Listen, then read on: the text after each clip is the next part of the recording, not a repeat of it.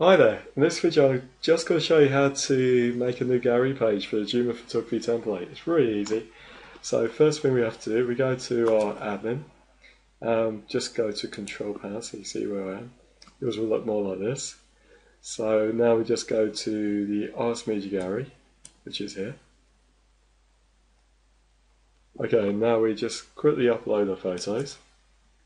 So let's just find uh, the photos we want to load up.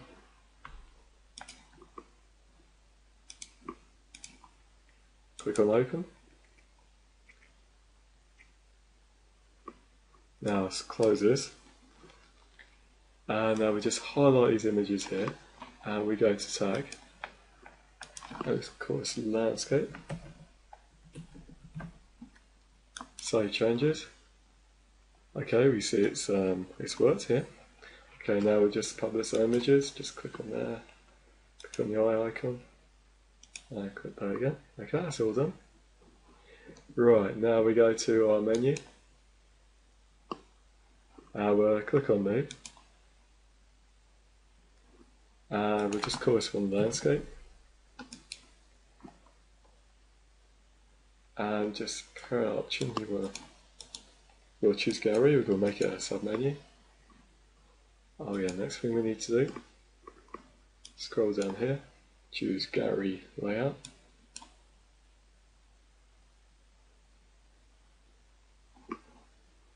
Okay, now we just add our tag.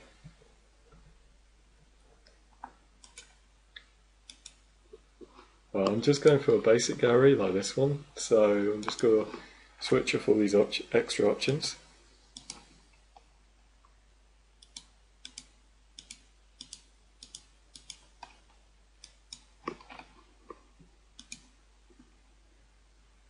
Right, save that now.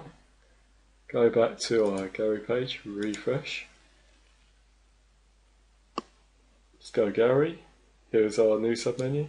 Just click on here like so. And there you go. And there's our new photos.